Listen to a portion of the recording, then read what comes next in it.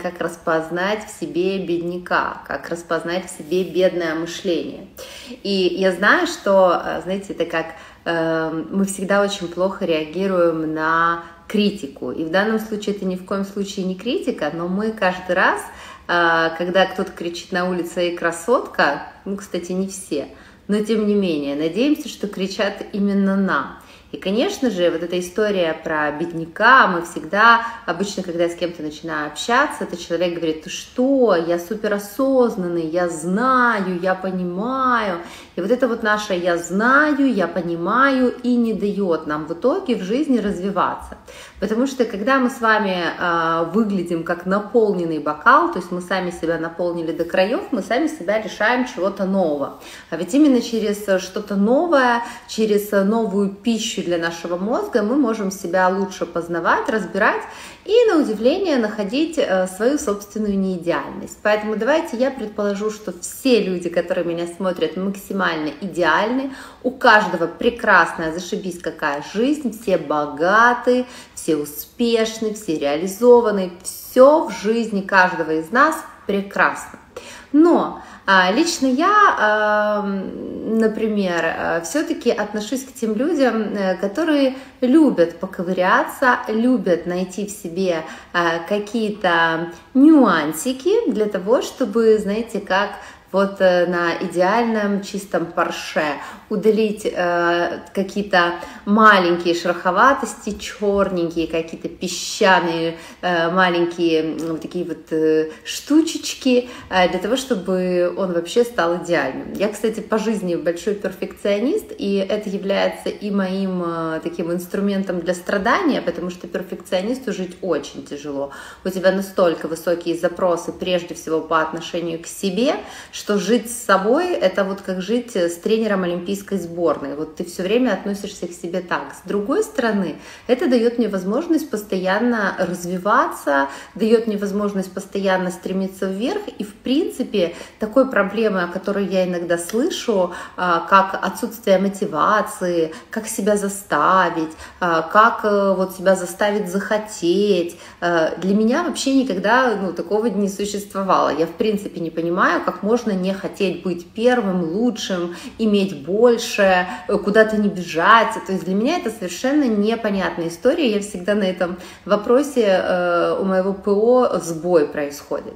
Так, ну я вижу, что вы пособирались э, немножечко, я вас немножечко отвлекла и развлекла, знаете, своим конферансом. Давайте будем переходить к теме. И э, в процессе, в конце, если у нас будут э, какие-то интересные, классные вопросы, а может быть, они в конце, я буду на них отвечать. А почему на самом деле я взяла эту тему? Ну, во-первых, конечно же, тема денег является для каждого из нас мега актуальной, потому что я постоянно повторяю, что мы с вами живем в материальном мире, в мире, э, ну, кто-то скажет, где все продается и все покупается, да, и это прекрасно, потому что мы с вами с помощью денег можем покупать множество удовольствий, дарить это другим людям, сами получать какой-то кайф, и деньги в то же время являются для нас мотиватором развития, потому что все равно, согласитесь, когда мужчины влюбляется в женщину, он ради нее хочет а, завоевать весь мир, он, может быть, ему-то достаточно было треников, э, вот, и дивана, да, и телека, но ради нее э, хочется встать, пойти и начать что-то делать, ну и так далее. Деньги для нас являются для, многими, э, для многих мотивацией, для кого-то в какой-то короткий промежуток времени, для кого-то в долгую, но тем не менее. А, и это тоже очень мега-супер классно. В общем, деньги, как ни крути, э, в материальном мире являются неким нашим кислородом. И в зависимости от того, каким кислородом мы дышим, в каком количестве, так мы себя и ощущаем в том числе. Итак, э, Давайте, соответственно, тогда разбирать, ну при чем же здесь мышление бедняка. Если я спрошу любого из вас, любите ли вы деньги, конечно, вы скажете да. Есть люди, которые не любят деньги. Скажите, пожалуйста, есть ли люди, которые не любят здесь деньги, которые скажут мне, мне деньги вообще не меня бесят, раздражают, и они мне не нравятся. Вот вы это можете осознанно сказать. Если есть, пожалуйста, напишите, это будет даже интересно. А, я а, обычно вот так людей, ну, не знаю, если я напрямую задаю этот вопрос, все говорят, конечно же, я хочу деньги, конечно же, я их люблю, но это, помните, как в отношениях. Например, а, мужчина говорит вам «люблю, люблю», но при этом он вас унижает, при этом он вас оскорбляет, при этом он может сказать вам какие-то грубые вещи, и мы часто говорим о том, что любовь на словах – это не совсем про это, да, то есть мы все любим что-то говорить, но вот под подтверждают всегда что-либо действие. Вот то же самое у нас обстоит с вами и с деньгами. Мы все говорим, что мы любим деньги, но на деле, если за нами понаблюдать, то, в общем-то, а, я не так много людей, вот просто в окружении, не в своем тесном, а вот в принципе в окружении вижу людей, которые любят деньги. Почему? А, я уже проводила эфир, если вы его не смотрели, мы предыдущий эфир про деньги, обязательно посмотрите. А, я немножечко вам сейчас э, какие-то вещи напомню, для того, чтобы мы плавнее, значит, занырнули в этот эфир. А, дело в том, что мы с вами испытываем постоянно некие эмоции. И в контексте того, каким образом мы отражаемся в мире, а в мире, согласно э, нашей квантовой физике, все является энергией и сознанием, мы с вами э, создаем некое энергетическое поле и создаем его не своими словами, а своими чувствами. В зависимости от того, что мы с вами ощущаем, то мы и излучаем. Как это понять, да, Оля? Что за глупости, что за фигня, господи, что я смотрю? А, давайте такой простой пример, чтобы вы поняли, что какое-то излучение существует. Помните, когда вас начинают за что-то хвалить? Вы получили хорошую оценку, вам признаются в любви, вам прислали какое-то потрясающее сообщение с благодарностью, вас встретил человек и за что-то выражает вам благодарность или он рад. Есть такое ощущение, что вы наполняетесь, вы в физическом смысле в физических ощущениях начинаете чувствовать, как у вас прибывает сил. Вот вы пришли такой вечером, обессиленный, уставший, и тут раз что-то хорошее произошло, вам позвонили, сказали, вы выиграли, или там ты сдал экзамен, или твой ребенок поступил, и у тебя есть такой физический прилив сил. Ты что сверкаешь? Вот это как раз и есть момент излучения, которое мы очень четко ощущаем. То есть мы можем с вами его сейчас вспомнить, сказать, да-да-да, я припоминаю такое состояние. То же самое мы можем с вами сказать о негативном состоянии. Когда, помните, сердце в пятки ушло, страшная дрожь по телу, страшно, что что-то узнали, что что-то произошло, э, что-то неприятное произошло, что-то сказали, мы говорим, как, блин, говном облили. То есть мы это ощущаем, такое мерзопакостное опустошение. Вот это и есть та энергетическая вибрация, о которой я говорю. Просто острые мы ощущаем, вот как, например, температуру, да, мы с вами ощущаем, когда нам очень холодно и когда нам очень жарко. А обычную температуру мы с вами не ощущаем. Когда мы поднимаемся высоко в горы, если вы были, там тяжело дышать, мы это ощущаем.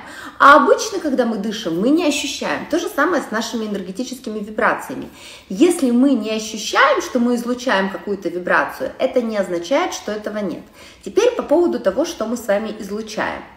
А, дело в том, что когда мы с вами а, вообще о чем-то думаем, у нас с вами есть, давайте так, на, поделим очень просто, на, на две грани, на плохо и на хорошо. У нас с вами есть либо вибрация со знаком плюс, либо вибрация со знаком минус. Со знаком плюс это все хорошее. Когда я чувствую себя хорошо, я излучаю, что мне хорошо. Это может быть по-разному, в разных аспектах, но это все связано с хорошо и я притягиваю в свою жизнь все со знаком плюс. То есть, находясь на волне хорошо, я автоматически излучаю мне хорошо, и на меня, как комарики, со всех сторон прилетают вот то, что я излучаю. Все на меня подтягиваются. Когда я недоволен жизнью, в минусе нахожусь, гнев, раздражение, грусть, э, усталость такая вот нервная, вот меня все бесит, меня все раздражает. Вот помните вот это состояние, что не подходи. Вот бывает, к своему близкому человеку подходишь и не хочется рядом с ним находиться. От него вот просто буквально разит, вот, вот, вот неприятно. Вы это излучаете, и вы притягиваете в свою жизнь все со знаком минус. Когда говорят, беда не приходит одна, когда говорят, что же оно на меня-то все полетело, А, бывает ли нейтральная? Ну, смотрите, а, нейтральная бывает, а, но в контексте плюса. Как это? Ну, например, когда вы просто себя чувствуете спокойно и вам хорошо, это достаточно нейтральная позиция, но она со знаком плюс все равно.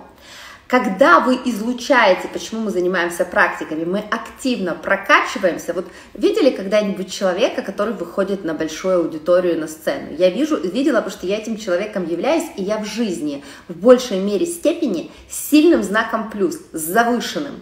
Некоторые люди не понимают, как я могу находиться в таком градусе очень часто – то есть вот это градус нашего повышения. Это такое повышение, когда ты притягиваешь к себе все. Например, после любого своего выступления я получаю массу предложений, люди бегут меня обнимать, люди хотят у меня покупать, люди хотят со мной взаимодействовать, мне куча всего предлагается. То есть это такая повышенная вибрация. Конечно, человек не может в таком состоянии все время находиться, безусловно. Особенно нормальный, обычный человек, который, ну, как бы не занимается особенно этим там профессионально. Но тем не менее, вам хорошо, спокойно, это знак плюс. Когда минус, вы это четко ощущаете. Это все не то. Минус – это минус. Вот вы его не спутаете. Вот точно. Это как температурный режим. Помните, вы на улицу выходите, и когда минус, вы всегда чувствуете, что морозик, морозик появился. Мы с вами температурный режим приблизительно чувствуем. И когда выходим на улицу, мы можем во время года сказать в своем климате, сколько это градусов. То же самое находится у нас. Так вот, когда мы с вами находимся вот в этой низкой вибрации, мы с вами притягиваем негативные ситуации. А теперь к чему я вам это говорю? А к тому, что любой наш контакт с деньгами, а этих контактов миллион, он обуславливает определенную вибрацию. Вот я говорю, например, боже, как я люблю деньги. И мне приходит счет оплатить за школу.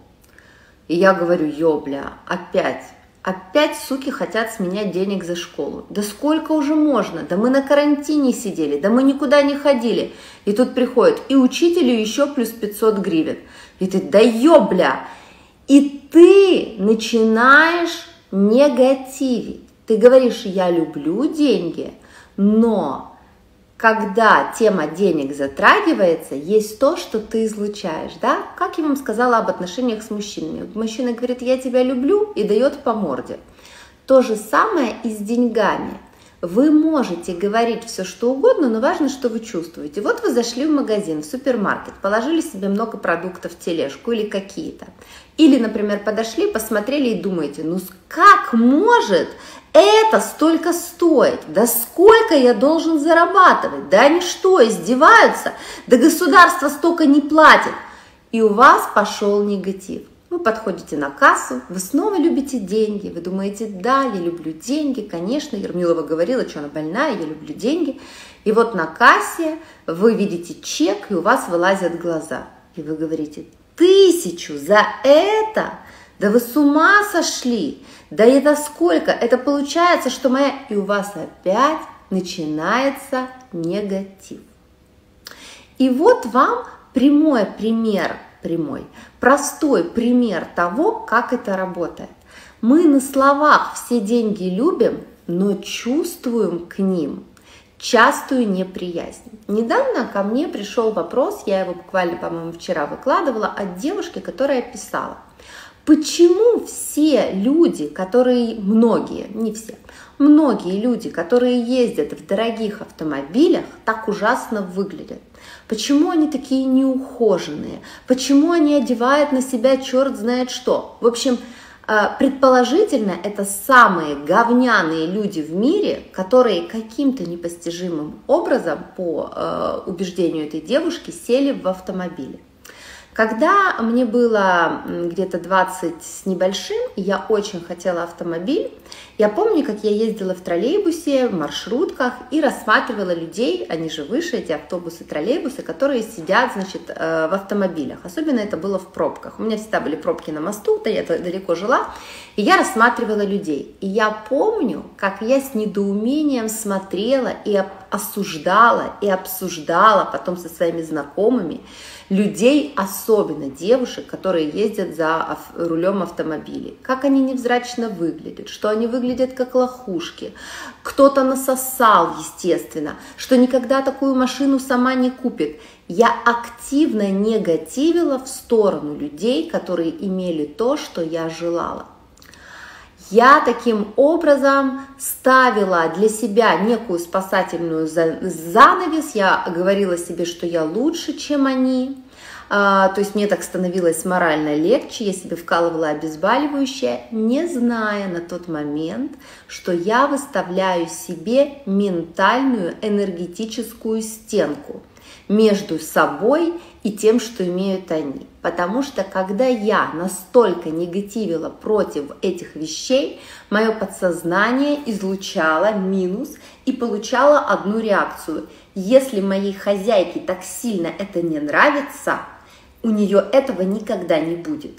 Я сделаю все, Олечка, чтобы у тебя никогда не было таких машин, таких вещей и прочих штук, которые вызывают у тебя настолько сильный негатив.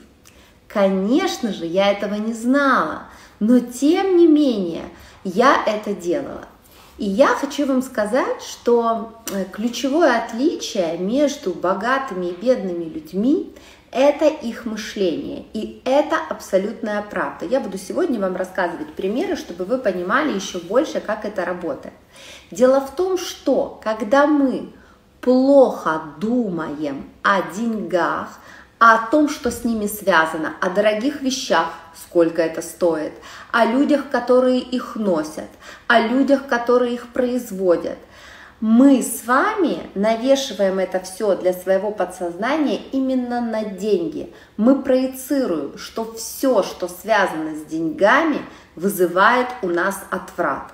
И наше подсознание э, берет это излучение наша мысль, деньги, негатив, делает, замыкает эту взаимосвязь и делает все для того, чтобы мы с вами никогда до этих денег не добрались. Удивительный момент заключается в том, что мы с вами начинаем отстраивать в процессе жизни некую стену от денег. И все, что связано с изобилием, достатком и богатством, мы отстраиваемся от этого как от защитной стены, точнее, как защитной стеной. Как мы это делаем? А, ну, изначально у нас идет очень плотная связь между всем, что связано с финансовым изобилием, что это плохо. Мы осуждаем людей, которые зарабатывают, говоря о том, что эти люди воруют, о том, что деньги нельзя заработать честным путем, о том, что э, это какие-то люди, которые, ну, это или проститутки, или воры, да, там э, родители нам помогали тоже в этом, вот что вот я бедный, честный, да, они там воры. Нечестным путем они зарабатывают эти деньги деньги. То есть так жить нельзя. Второй момент, мы для себя отстраиваем, что есть некое государство, что есть некая структура, некие люди, которые нам эти деньги не дают. Они плохие, они нам деньги не дают, а значит, следовательно, нам эти деньги получить невозможно. Нельзя их заработать. Мы постоянно акцентируем внимание на реальную, так называемую картину мира, на том, что нету таких зарплат, или мы не можем получить должное образование, то есть мы для себя имеем э, за жизнь, э, выстраиваем большое количество кирпичей, делаем это совершенно за длительный период времени, неосознанно, но в результате очень крепко верим в то, что деньги большие какие-то, и мы это две несовместимые вещи. А те, кто этими деньгами и возможностями обладают, это очень плохие люди, которые обязательно за все заплатят э, когда-нибудь. Мы очень радуемся, если в их жизни случается что-то плохое, мы говорим, что это наказание, и тем самым мы для себя связываем, что деньги, э, э, за большие деньги всегда будет наказание. Я обязательно, если у меня будут деньги, я или умру, или что-то случится с моими близкими. Помните, как часто, когда что-то в нашей жизни э, происходит плохое, мы что говорим? Мы говорим, за что-то рассчитался, отплатился. Мы все время пытаемся удалить свою связь, даже радуемся, когда деньги от нас уходят. И таким образом выстраиваем очень прочные такие вот себе заборы. Что удивительно, когда мы это все себе настроили, значит, мы же этого не замечаем, это же все плавно очень происходит, мы все это себе настроили э, в своей жизни, дальше нам необходимо, это становится нашей картиной мира. То есть мы видим мир таким, мы видим мир сложным, мы видим мир бедным. Мы видим мир, что только какие-то другие люди могут зарабатывать деньги, а я, мне деньги достаются тяжело. Я должен долго, мы как детям говорим, ты должен учиться, ты должен долго и тяжело работать для того, чтобы чего-то в этой жизни достичь. Без труда не вытащишь рыбку из пруда. Надо обязательно очень долго и тяжело работать, и это стоит тебе дорогих, серьезных усилий. Ты должен пахать. Короче говоря, мы выстраиваем какую-то такую сложность. Следующая такая интересная история, которая происходит э, в новой формации – это когда люди говорят, я не хочу быть заложником денег. Я не хочу всю свою жизнь тратить на то, чтобы эти деньги доставать. В конце концов, не в деньгах счастье. Тут есть две такие, знаете, интересные вещи. Потому что заложником денег мы как раз являемся не тогда, когда они у нас в достатке, а тогда, когда они у нас в нехватке. Потому что когда деньги в достатке, ты имеешь возможность получить ту самую свободу и возможности создавать, развиваться, делать мир лучше, помогать кому-то, э, наслаждаться жизнью. Когда у тебя денег нет, то вся твоя реальность сводится к тому, чтобы ты свел те самые концы с концами. И в этом случае ты становишься заложником, потому что ты не можешь остановиться, тебе все время нужно платить деньги, тебе постоянно нужно э, грести лапами, и эта история как раз гораздо хуже. Но э, продолжение идет такое, что мы, значит, продолжаем что-то себе рассказывать, у нас складывается наша картина мира о том, что такое деньги и что такое мы, и дальше начинается все еще интереснее. Потому что э, нас с вами сегодня нам повезло, нас окружают очень разные люди. И для того, чтобы послушать разные мнения и взгляды, а нам даже не нужно с вами с кем-то лично знакомиться. Нам достаточно зайти в Инстаграм или в YouTube, включить видео, и вот сидит какой-то человек, у которого есть свой жизненный опыт, э, свои финансовые возможности, вообще свои какие-то достижения, и он делится личным своим опытом. Вот когда, например, это делаю с вами я. И вам не нужно со мной быть лично знакомыми, вам не нужно ко мне проситься на кухню, домой, встретиться. Нет, вы можете узнать, что я об этом думаю прямо сейчас. И нас таких сейчас миллионы людей, Э, да, которые находятся вот в таком вот э, формате свободного общения. И вот, значит, у нас складывается какая-то своя картина мира у каждого. И мы э, верим в ту картину, в которой живем мы, но тем не менее, вот мы слушаем Олю Ермилову, она вдруг говорит о том, что вы все можете быть богатыми людьми, и все можете иметь э, огромные колоссальные возможности. Вы их уже имеете, но вы об этом не знаете. И вы такие сидите, у вас появляется некая ваша альтернативная альтернативное мнение. Большинство людей это альтернативное мнение даже не видят и не слышат. То есть я сейчас об этом говорю, а люди эти не слышат. Или зашли на эфир, вообще не поняли, про что это, и ушли. А есть те среди вас, которые это слушают, и как-то вот вам это близко. Вы вроде бы еще не понимаете, как это, но вам нравится эта мысль, что вы можете быть богатыми, вам нравится мысль, что вы можете влиять на свою жизнь, что вы можете что-то менять. И вы продолжаете слушать. И вот, э, когда появляется вот это самое альтернативное какое-то мнение и видение, у нас дальше идет такая, знаете, прорисовка. То есть мы с вами сидим, и у нас есть некая своя реальность. Мы либо верим в эту реальность жестко, ну то есть наши убеждения говорят, что только так и никак по-другому. Вообще по-другому вы вот, что бы я вам ни говорила, у вас всегда будет свой ответ. Либо же вы что-то пропускаете. Ну, то есть вы говорите, ну, я, конечно, так не думаю, у меня были другие мысли, но, допустим, я готов об этом подумать. И в зависимости от того, в жесткой форме вы находитесь или в мягкой своей реальности, я сейчас детальнее объясню, что это означает, и есть возможность допустить то, можете вы измениться или нет. Дело в том, что наша реальность не настолько реальна, как нам кажется. То есть я хочу, чтобы вы понимали, я на эту тему уже проводила э, тоже эфиры, что на любую ситуацию мы с вами, каждый смотрит по-разному. И мы не просто смотрим по-разному, но каждый из нас тоже может посмотреть на нее по-разному. И мы воспринимаем ее хорошо или плохо именно потому, что мы как-то привыкли воспринимать. То есть срабатывает только наша привычка. На простом примере. Вы говорите, например, я э, жаворонок, я просыпаюсь в 7 утра и ложусь в 10 вечера. Вы убеждены, что вы жаворонок. И вроде бы это да. Но если вы усилием воли решите начать ложиться в 12 ночи, а просыпаться в 9 утра, то если вы неделю будете усилием воли это делать, вы увидите, что у вас получится. И вы, я вам скажу, ну ты же говорил, что ты жаворонок. Ты скажешь, слушай, ну я был уверен, что я жаворонок. А я скажу, а почему ты перестал быть жаворонком? Ты скажешь, ну я просто стал по-другому ложиться спать.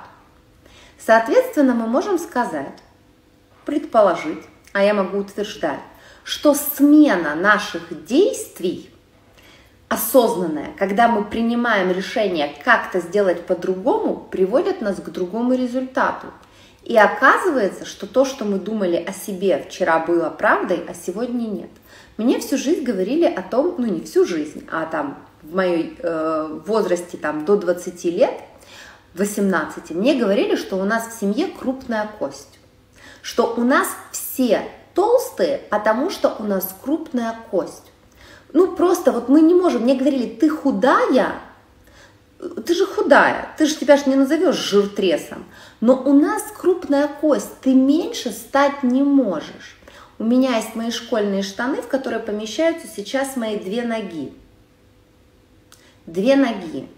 И если сейчас кто-то, ну, как бы не наблюдает меня, вот, э, можете посмотреть мои фотографии и сказать, где я, где крупная кость. У меня висела даже фотография, я не знаю, в сторис еще она ушла или нет, где там я в классе, наверное, девятом, тоже, но тоже можно сказать, что у меня там крупная кость. А есть такие фотографии в Инстаграме, где прям никто не узнает, что это я. Вопрос в том, что, а я сказала, я вообще всегда, я бунтарка по жизни. Я сказала, какая крупная кость. У меня нету никакой крупной кости. У меня нету крупной кости. Сейчас, когда меня видят люди в жизни, я вешу 48 килограмм. И когда меня люди видят в жизни, все говорят, какая вы маленькая. Мы же тоже визуально создаем, да, мы не знаем с вами, вы не догадываетесь, какого я роста, вы так не можете меня примерить, вот непонятно.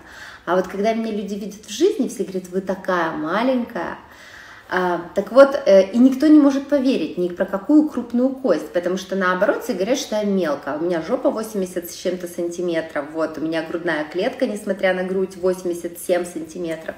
Я мелкая. И это еще один показатель того, что мы можем с вами абсолютно по-разному создавать а, свою реальность. Теперь давайте перейдем к истории денег, да, как распознать в себе вот этого самого бедняка. А, сейчас я вам расскажу несколько интересных вещей, которые, опять-таки, являются, ну, то есть мы не понимаем, что это бедное мышление, но на самом деле так и есть. Чем вообще такое ключевое отличие бедного и богатого мышления? Люди с богатым мышлением могут быть бедными, в периодичности жизни, но они всегда по факту становятся богатыми. Почему?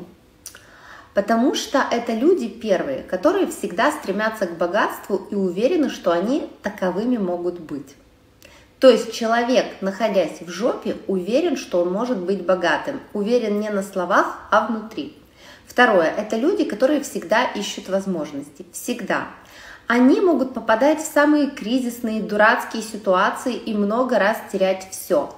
Но у них всегда будут в голове какие-то идеи, и это люди, которые не будут ни дня сидеть без дела. Это очень важно. Э, люди с денежным мышлением богатым, они всегда ищут возможности, любые.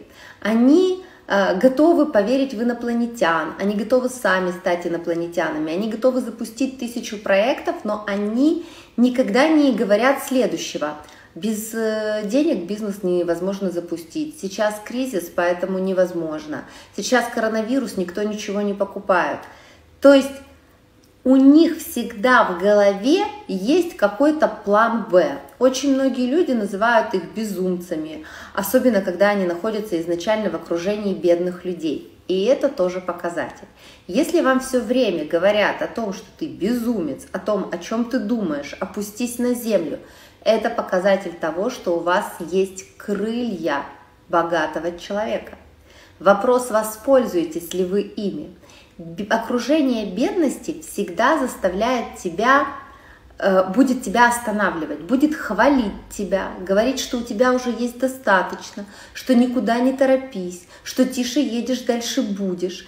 И если вы то же самое говорите другим людям, тем, которые стремятся к безумиям, вы им все время говорите, не торопись, не рискуй, не надо, сиди на месте, лучше сейчас подождать, не увольняйся, не делай, не пробуй, не едь.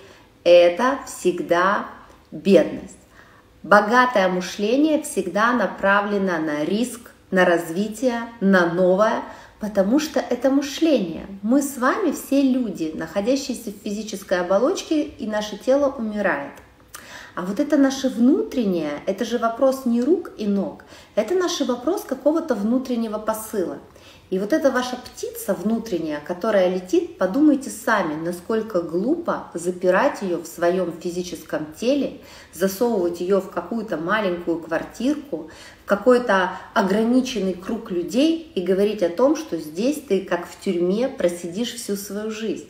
Ведь наша с вами внутренняя мы же переходим из одного мира в другой, мы умираем. Вы же понимаете, что скорее всего, что когда мы с вами умираем, все не выключается, что некая наша внутренняя энергия, она же остается жить. Мы просто с вами сейчас этой энергией наполняем свое физическое тело, умеем разговаривать, еще что-то. Но дальше-то что-то происходит, Вселенная-то. Ну, подумайте об ее устройстве, немножечко поизучайте, послушайте, и вам станет это более понятно. Так вот, Бедное мышление – это всегда э, бедняк, который в вас живет, это всегда человек, который стремится к спокойствию, к тому, чтобы его никто не трогал, у которого всегда на все есть оправдание.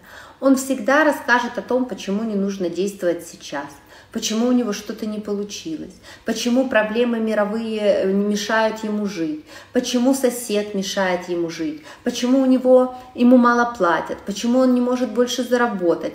Это человек, который на все имеет ярко, выраженная, ярко выраженную причину, почему нет. Ярко выраженная жертва – человек, который постоянно знает, что у него не получится, и вы ему можете предлагать любые возможности. Вы ему будете говорить, давай сделаем вместе, он скажет, нет, я вместе не могу.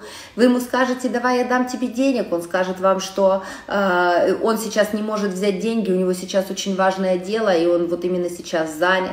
Вы скажете ему, э, давай увольняйся с работы, сделаем бизнес, он скажет, что он сейчас не может уволиться с работы, потому что у него какая-то важная, у него на все есть отговорки.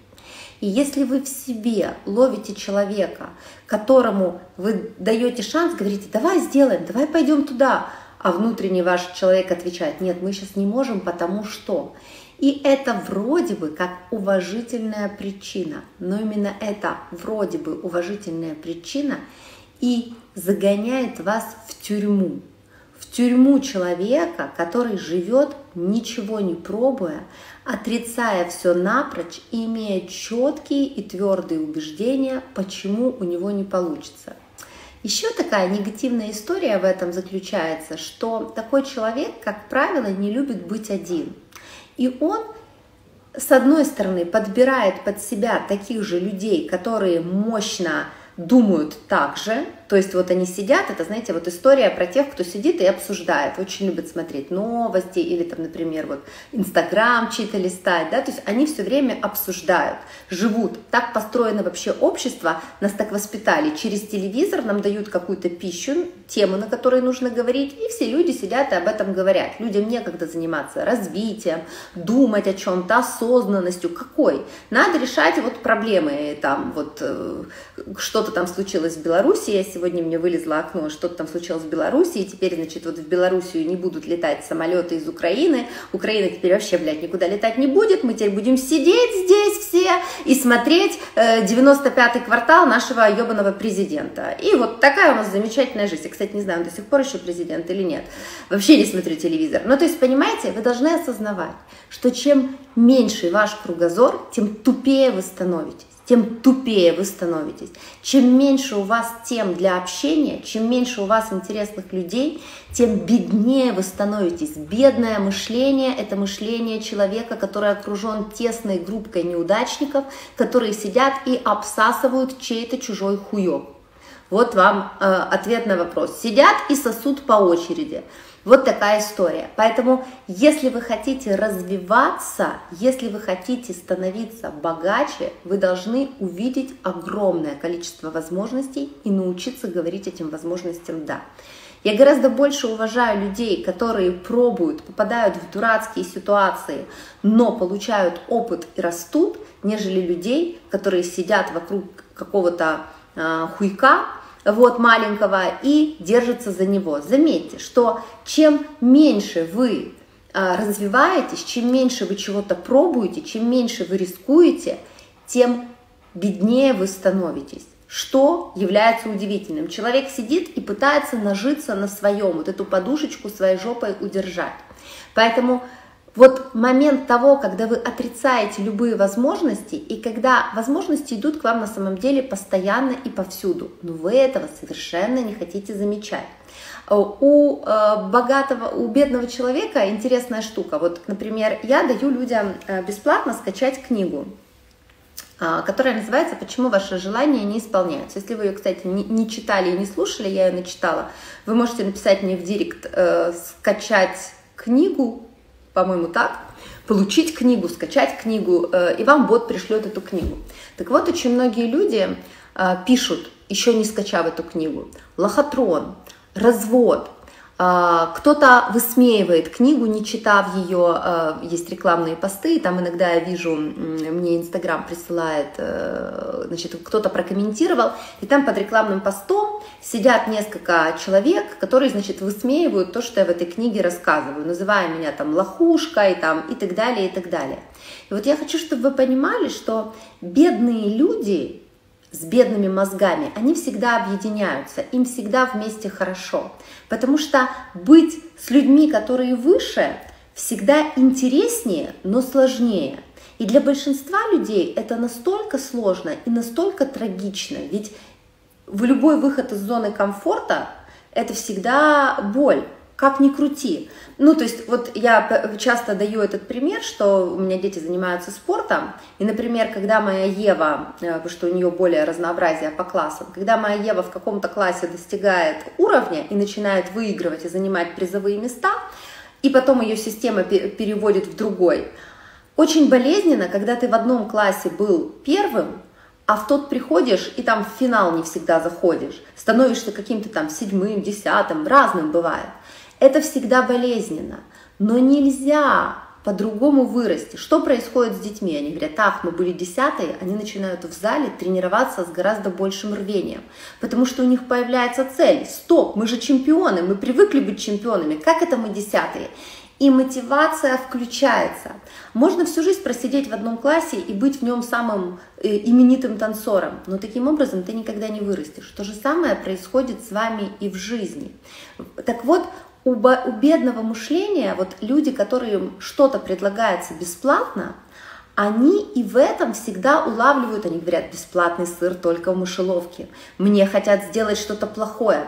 Ты хочешь сделать человеку подарок? Человек не способен воспринять подарок, видя в этом только обман.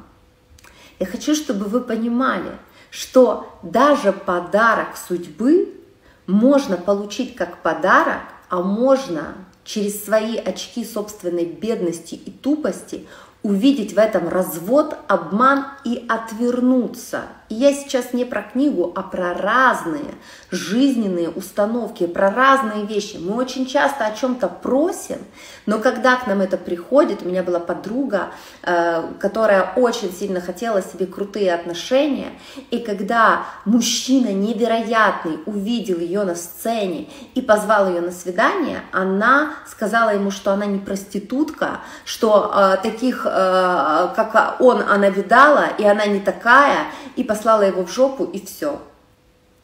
Мы очень часто совершаем глупости из-за собственной тупости. Из-за собственной тупости. И вот это бедное мышление, это не только про деньги, это про мышление того, когда мы отталкиваем от себя любые возможности. Я часто сталкиваюсь с тем, что люди смотрят мои эфиры, читают меня, вроде бы обсмаковывают меня, но когда дело доходит, например, э, люди начинают писать мне вопросы, очень многие, и я всем практически отвечаю, ребята, приходите на рерайтер жизни, вы на самом деле найдете там ответы на все свои вопросы, я не шучу. Люди говорят, ну понятно, но оказывается тут просто мне продают, хотят на свой херовенький марафон затащить. И ты сидишь, это знаете, как из серии про доктора. Ты пришел к доктору, говоришь, полечи меня, он говорит, окей, давай пройдем обследование, ты говоришь, ну понятно. Так это все только для того, чтобы я обследование прошел. Это ограниченность нашего мышления. Мы настолько привыкли быть бедными, мы настолько привыкли к собственной внутренней нищете, что мы даже не допускаем возможность что к нам в жизнь может прийти что-то хорошее. Мы не допускаем возможность, что нас могут любить классные люди. Мы не допускаем возможность, что с нами могут дружить. Мы не допускаем возможность, что мы можем хорошо зарабатывать, что мы можем э, совершенно другой мир вокруг себя выстраивать. И по сути, когда люди отказываются идти ко мне на рерайтер, я вижу только этот запрет. В рерайтере жизни есть пробная версия. Она, кстати, у нас завтра во, она завтра стартует. Она стоит 5 долларов. Там за 5 долларов, знаете, что в ресторан прийти, э, в Фермонт какой-то, и наесться уже, уже, до основных блюд даже не доходить. Человек говорит, ой, ну, ну нет. Разные, значит, доводы. У меня нет времени. Это же надо проходить марафон. Я говорю, у тебя есть время портить свою жизнь. Сколько тебе лет? 37. Ты 37 лет живешь и в итоге получил жизнь, которая тебе не нравится. И ты не можешь найти месяц по часу в день на себя. Правда? Развожу руками. Кто-то говорит, ой, ну 5 долларов это тоже для меня деньги. Но здесь я хлопаю стоя, потому что я понимаю, что, ну, как бы, да, если 5 долларов для тебя деньги в качестве инвестиции в себя, ну, тут полная нелюбовь к себе. Тут полная нелюбовь к себе. И у людей всегда есть миллион каких-то отмазок, почему они не могут это сделать. И кто-то говорит просто, я в это не верю. Ну, естественно, конечно, ты в это не веришь. Гораздо проще поверить в гадалку, в судьбу, в то, что ты неудачник, в то, что, э, я не знаю, ты влияешь на выбор президента. Гораздо проще поверить во что угодно, кроме как в то, что ты сам можешь и ты сам управляешь своей реальностью.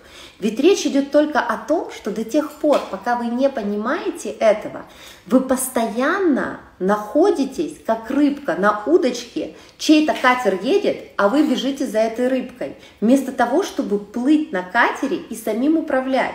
Я уже говорила вам в начале эфира, что для меня это всегда была вообще какая-то нонсенс. Нонсенс-позиция. Я настолько люблю быть вожаком, я настолько люблю принимать ответственность за свою жизнь и за свои решения, что не разобраться в том, как это работает, это максимально тупо. И мне очень жаль, что я большую, большую, сильно большую часть своей жизни, практически всю, за исключением пары лет, находилась в состоянии неосознанного человека. Я строила успешно свою жизнь и успешно проебывалась только по одной причине, что я по природе своей богатый человек, по внутренней природе, не по внешней, по внутренней. Но это, понимаете, что такое внутренняя природа? Внутренняя природа, это говорит о том, что ты всегда выпрыгнешь, но ты сто процентов и куда-то западешь, потому что ты не знаешь карты. Когда ты становишься осознанным, ты очень хорошо понимаешь природу того, как идти и не попадать в яму. Вот и все. Но большинство людей и по природе не богаты своей, и неосознанны, понимаете?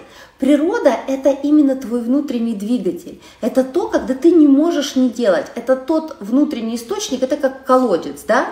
Вот не везде же он в пустыне есть, и вообще не везде вот он есть. Вот этот источник воды, он просто бьет из-под земли. Мы, ну, для меня это всегда чудо просто бьет из-под земли. Вот и люди есть такие, я к ним отношусь, которые э, просто бьют из-под земли. Откуда идет во мне этот источник энергии, я не знаю. Я кстати, могу рассказать такую интересную историю, что когда я занималась, я много лет занималась свадьбами, и я была очень хорошим специалистом, и, э, в общем-то, имя себе заработала на свадьбах, потому что я обучала очень много людей. И у меня люди учились из очень разных сфер, не только из свадеб. И это было потрясающе. И когда люди приходили ко мне и рассказывали о том, что я юрист, там, я еще кто-то, я банковский работник, я вообще не понимала, чего вы ко мне пришли учиться, я свадебный организатор. А люди говорили мне, вы понимаете, вот я вас слушаю, и у меня мое все на место становится. Вот я не знаю, как так происходит. Вот я вас случайно послушал и включился. И я помню, как там впервые мне начали об этом говорить, и я впервые начала задумываться о том, что откуда во мне этот действительно неуемный источник энергии, откуда вот это все время от меня льет и льет. Я устала, вроде бы сдохнуть должна, а из меня опять это все льет. И когда я осознала, что я действительно являюсь вот таким вот колодцем, я поняла, что, ну, это же не мой дар, это же что-то мне дано, ну, через меня, да, то есть я вот поселилась в тело, а бьет-то из меня что-то совершенно другое.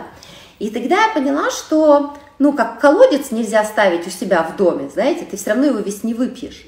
Точно так же и меня нельзя оставить только для себя, потому что раз у меня столько энергии, значит, я ее должна отдавать, значит, я просто какой-то этот резервуар, вот, и моя задача научиться через что-то это людям отдавать, потому что иначе оно меня просто разбирает. Если бы вы меня видели периодически, вообще уровень зашкала моей энергии, поднять стадион это вообще не, не, не моя проблема. То есть я, мне кажется, могу встать на кладбище и разбудить всех мертвых абсолютно вот такое у меня бывает, э, ну, фантастические э, такие припадки энергетические. Поэтому очень важно является э, этим делиться для меня. Уже не помню, на какой вопрос я вам отвечала. Уже тут и, и все, и все, и все, и все, и все. Да. Поэтому крайне крайне важно использовать свои источники. И если вы таким источником не обладаете, то нужно развивать свою осознанность отвечать себе на вопросы, искать ответы, и, точнее так, задавать себе вопросы и искать на них ответы. Как можно жить иначе? Как то, что я думаю и чувствую, влияет на мою жизнь? Недавно девушка одна в YouTube написала мне комментарий, что я читала много книг, и вы рассказываете уже устаревшую информацию, еще и плагиатите. Это очень смешно, конечно. Это как, знаете, сказать человеку, который говорит на русском языке о том, что не он придумал этот язык, и он плагиатит. В этом же и фантастичность того, что я вам рассказываю. Потому что об этом говоря, говоря, говорили и говорят огромное количество фантастических людей. Но Написано множество книг, даже какие-то фильмы сняты, но люди этого не слышат. Нам по-прежнему удобнее думать, что есть некая судьба, что есть кто-то, кто нами управляет, что от нас ничего не зависит, что президент и страна, в которой мы живем, больше влияют на нас, чем мы сами. Но я-то девочка настойчивая, я-то девочка бешеная, и я понимаю, что раз уж я наделена этой энергией, то какое-то количество людей я точно разбужу своими достаточно простяцкими примерами. Именно поэтому рерайтер жизни очень популярен, потому что там у меня есть и тетя Глаша, и кто угодно. Жирные всякие дядьки, убеждения, бегающие на тренажерах, я стараюсь вам донести очень сложные вещи очень понятным языком, чтобы вы поняли, как вы сами, как ваши мысли, то, что вы о себе думаете, то, как вы воспринимаете информацию, напрямую влияют на ваш мир. И я могу вам сказать, что до тех пор, пока вы думаете, что вы бедны, до тех пор, пока вы думаете, что люди богатые – это злые люди, до тех пор, пока вы думаете, что в вашей стране, в вашем возрасте, в вашем городе с вашими возможностями ничего невозможно, так и будет – но если вы попробуете думать иначе и начнете перепрограммировать свой мозг, то, чему я, в общем-то, и учу, вы вдруг увидите, что ваш мир совершенно другой. Вы вдруг увидели, что то, что вы считали своей удавкой, является для вас фантастической возможностью. Вы вдруг увидите, что деньги, которые раньше приходили к вам сложно, оказывается, вдруг начинают приходить к вам со всех сторон. Вы даже не представляете, как в течение какого-то месяца может измениться ваше мышление. Это просто фантастика. Но для этого очень важно захотеть.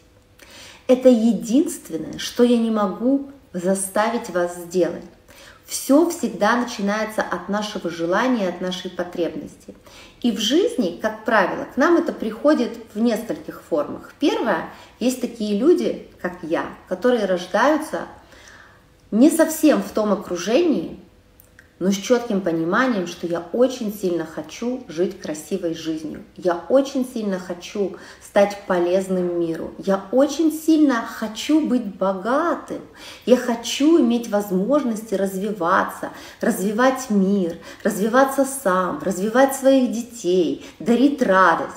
Это одна категория людей. Есть вторая категория людей, которая живет какое-то количество лет абсолютно обычной жизнью, и вдруг внезапно начинает ощущать некий дискомфорт. На это, кстати, тоже есть объяснение, я не буду сегодня вам его рассказывать, но есть очень понятное объяснение, что с человеком происходит.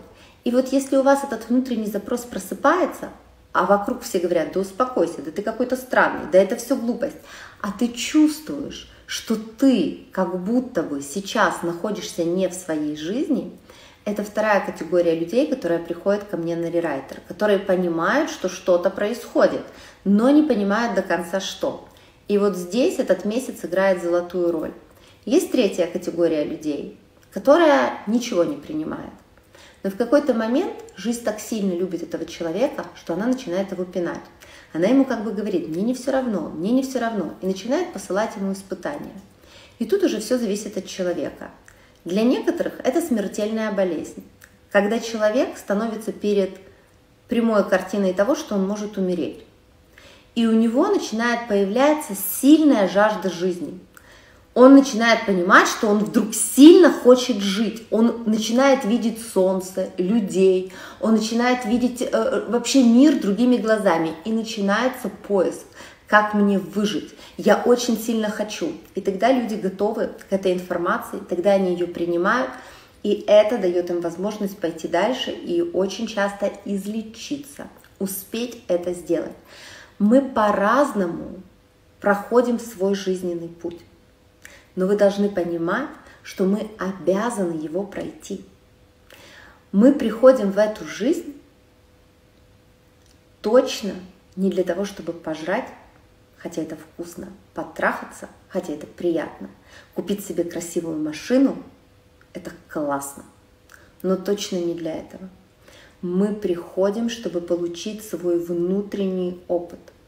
И материальность этого мира является прекрасной мотивацией к тому, чтобы сделать это лучше, быстрее и ярче. Но именно то, как мы внутренне меняемся, идя вверх, за своими мотивашками, именно то, какие ценности мы приобретаем, взгляды, то, насколько мы учимся ценить, любить, понимать, анализировать, принимать, благодарить, то, насколько мы учимся менять в себе всю злость, все нищенское мышление, все раздражение, всю агрессию, всю обиду на любовь, на умение видеть хорошее – но умение думать о том, как это можно использовать во благо, это и является нашей ценностью. Я верю в то, что наше тело умирает, я это видела. Но я верю в то, что наша душа проходит большой свой жизненный путь. Мультик «Душа» — потрясающий мультик, я вам рекомендую его посмотреть. Э, который вышел в этом году. Э, замечательный мультфильм, посмотрите. Он очень во многом схож с тем, о чем я говорю, и, возможно, вам будет как-то мысленно более понятно, визуально, как это выглядит. Поэтому, конечно же, я могу вам сказать одно. Если у вас есть эта потребность, дайте себе возможность хотя бы что-то попробовать. Вы можете прийти ко мне, если вам нравлюсь я. Вы можете найти информацию, если вы будете ее искать, вы однозначно найдете где-то ее еще. Я точно знаю, что человек, который начинает путь своего развития осознанного, рано или поздно ко мне попадет. Поэтому я не особо зазываю вас к себе. Хотя, безусловно, конечно же, я считаю себя в этой сфере, а, я считаю, что я нахожусь на своем месте, я скажу вам так. Я считаю, что я проводник, и я нахожусь на своем месте. Не то, что я гениальная, талантливая, нет. Я просто нахожусь на своем месте. И я умею делать так, чтобы вы достаточно безболезненно, достаточно быстро проходили вот этот извилистую такую, знаете, дорожку, как на аква, в аквапарке, на горке, от человека, который хочет понять, до человека, который вдруг начинает понимать. И я вам обещаю, что три недели у вас просто будет переворот мозга при желании это сделать. Вот, собственно, и все. А,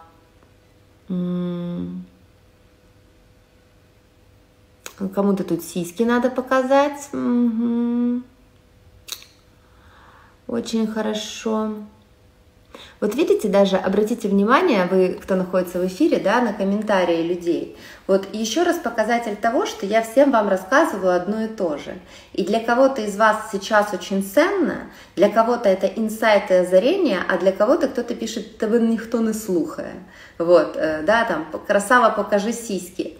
А, показатель того, насколько люди разные, да, насколько мы, глядя на одно и то же, видим с вами разное. И я хочу вам сегодня дать такое небольшое задание э, творческое. Э, посмотрите на то, каким образом вы относитесь сегодня к деньгам. Как вы реагируете на то, когда вам нужно за что-то платить? Как вы реагируете на то, когда вы получаете деньги? Как вообще, вот честно, попробуйте поразбирать именно свои эмоции. И скажите себе, я отныне обещаю радоваться деньгам в любых их проявлениях. Когда вы платите и отдаете деньги, всегда платите с удовольствием и чувствуйте себя богатым человеком. Как здорово, я могу купить себе еду, как здорово, я могу заплатить за аренду квартиры. Как здорово. Приучите себя изменять свое внутреннее состояние и отношение к тем вещам, которые раньше вызывали у вас негатив. Это касается не только денег. Я уже говорила вам о том, что мышление и наша жизнь такая связанная коробочка. Мы не можем с вами вытащить деньги, финансы отдельно от всей остальной жизни. Потому что, поверьте, наличие финансов или их отсутствие влияет абсолютно на каждый фактор. Мужчина, имеющий деньги, всегда гораздо более галантный и любящий. Он уверен в себе. Он знает, что он может сделать своей женщине подарок. Мужчина, у которого накануне 8 марта нет денег, злой. И если женщина ему скажет, ты приготовил мне подарок, может на нее накричать. Потому что он максимально раздосован, он максимально раздражен, он понимает, что он, не, он чувствует себя неполноценным, он бы хотел сделать ей подарок, но он не зарабатывает достаточно, у него есть еще множество всяких затрат, и он кричит, ты дура, ты думаешь только о деньгах. И мы можем понять и его, и ее. Как ни крути, финансы влияют огромное отношение, э, имеют э, огромное влияние на всю нашу жизнь. И все в нашей жизни очень взаимосвязано. Я скажу вам больше. Ваша неудачная счастливая, о, неудачная счастливая, ваша неудачная личная жизнь всегда отразится на финансах. В том числе. Мы настолько плотно взаимосвязаны, что нам важно понять эту цепочку. Поэтому я хочу а, пожелать вам разобраться с этим и пригласить вас на рерайтер. Завтра стартует у нас продажа пробной версии, а, я не могу об этом не сказать. Стоимость пробной версии будет всего 5 долларов. Она появится, эта пробная версия, завтра, если я не ошибаюсь, где-то в 10 утра у нас на сайте. Просто появится эта пробная версия. Пробная версия включает в себя 4 дня работы, полноценные, первое, второе, третье, четвертое число июня, мы стартуем 1 июня, полноценные работы в чате со всеми участниками, с получением полных всех заданий. А, конкретно о марафоне вы можете зайти на сайт по ссылке у меня в профиле с рерайтером жизни и посмотреть видео, посмотреть отзывы, посмотреть описание, что входит, как включает. Э, до этого у нас уже при покупке сразу идут предварительные задания. В общем, за 5 долларов вы получаете, знаете, э, практически Мерседес для своего мозга. Это я вам точно могу сказать. Попробуйте. Дайте себе возможность что-то новое попробовать. Дайте своим мозгам какую-то новую пищу. Переключитесь с телевизора, переключитесь со своих знакомых, переключитесь с того, что вы смотрите и читаете обычно – Дайте себе что-нибудь новенькое. Для того, чтобы наша жизнь менялась, нам необходимо что-то в ней менять. А, поэтому а, просто помните об этом. Делая одно и то же, мы с вами будем получать примерно такой же результат. Для изменений нужно добавить в наш рацион нашей головы что-то новое. На этой замечательной ноте я буду заканчивать, потому что, во-первых, я чувствую, что я начинаю тупить, потому что уже поздно. Во-вторых, я э, хочу, чтобы вы тоже отдохнули. Мне кажется, достаточно я вам всего наговорила. Я вас хочу поблагодарить и попросить вас, особенно если вы хотите, чтобы я эфиры выпускала почаще, а то что-то последнее время не сильно у меня-то это получается в ряду занятости. После публикации этого эфира написать, понравился он вам, не понравился он вам, может быть, какие-то свои пожелания на будущий эфир. Я вам буду очень благодарна. Это э, для меня своеобразная оплата за э, тот контент, который я вам даю. Я вам желаю всем прекрасного вечера. Всех, кто не был на рерайтере, я приглашаю и напоминаю, что рано или поздно вы все равно все попадете на рерайтер. Стоит ли ждать?